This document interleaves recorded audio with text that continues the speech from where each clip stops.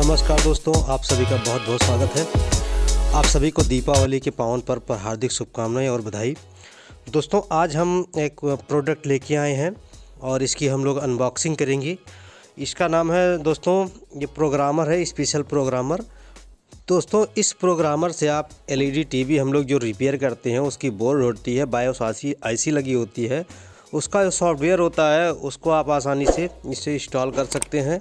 कभी कभी सेट आपका जो है स्टैंड बाई में होता है और रिलीज़ नहीं करता है, सॉफ्टवेयर की प्रॉब्लम होती है तो इससे आप आसानी से उसको ठीक कर सकते हैं। दोस्तों, बहुत ही अच्छा प्रोडक्ट है और इससे आप जो है एलईडी टीवी बनाने में आपको काफ़ी मदद यहाँ पे मिलने वाली है। दोस्तों इसका मॉडल नंबर जो है आपको मैं दिखा देता हूँ R T eight zero eight zero nine series का। ये प्रोग्रामर है। तो आज हम मैं इसको परचेज़ करके लाया हूँ और आप सभी के सामने मैं इसको अनबॉक्सिंग करता हूँ। दोस्तों, सबसे पहले जब आप बॉक्स खोलते हैं तो इसमें आपको एक प्रोग्रामर मिल जाता है। ये कुछ इस टाइप का है, मैं आपको इसको बाहर निकाल के दिखा देता हूँ। तो दोस्तों, ये आपका प्रोग्रामर है।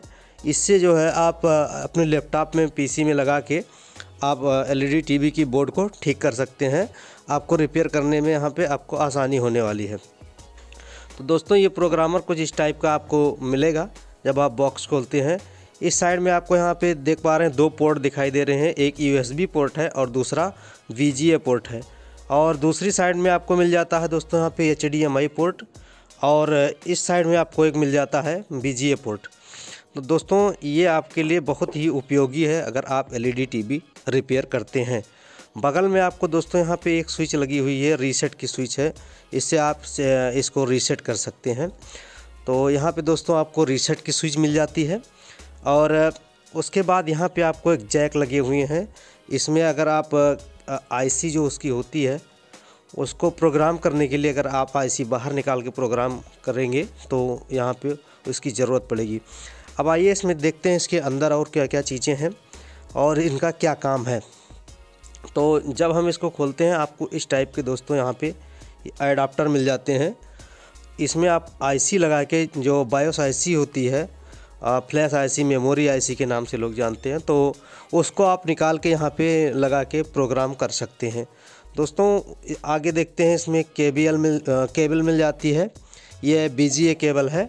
आप मॉनिटर में लगा देखते हैं पीसी में लगा देखते हैं, काफ़ी कई जगह यूज़ होती है। और यहाँ पे कुछ एडाप्टर्स और मिल जाते हैं आपको इस टाइप के।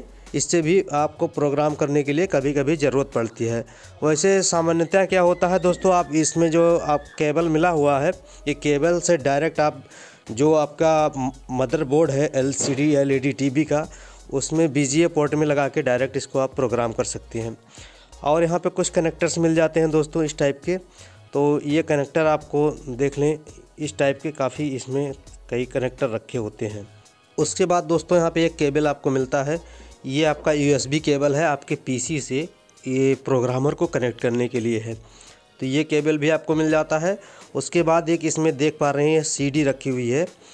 ये सीडी ड्राइव है और ये सीडी ड्राइव में इस स्पेशल प्रोग्रामर का जो सॉफ्टवेयर होता है, वो यहाँ पे आपको इसके साथ में दिया गया रहता है। इसको अपने आप पीसी में इंस्टॉल कर सकते हैं। तो दोस्तों, ये आपके लिए काफ़ी उपयोगी चीज़ है। दोस्तों, ये आपके लिए काफ़ी उपयोगी होने वाला है क्योंकि आप जो मार्केट में चाइनीज़ बोर्ड मिलती हैं, एलईडी टीवी की, उसको लेते लेके आते हैं तो कभी कभी उसमें क्या होता है, सॉफ्टवेयर नहीं होता है। और आप उसको पेन ड्राइव के माध्यम से सॉफ्टवेयर करने की कोशिश करते हैं, लेकिन आपका सॉफ्टवेयर मैच नहीं होता है। तो इस प्रोग्रामर को लेने के बाद आपके लिए रिपेयरिंग काफ़ी आसान हो जाएगी। तो दोस्तों, मैं प्रोग्रामर लेके आया हूँ, इसमें आपको वीडियो में आगे भी बनाता रहूँगा। इस प्रो, प्रोग्रामर से कैसे एलसीडी टीवी की बोर्ड को प्रोग्राम करते हैं। इसके लिए आपको हमारी अगली वीडियो के लिए वेट करना होगा। दोस्तों, हमारी द्वारा बनाई गई वीडियो आपको कैसे लगी, ये ज़रूर बताइएगा। अगर वीडियो पसंद आई हो तो एक लाइक ज़रूर कर दें।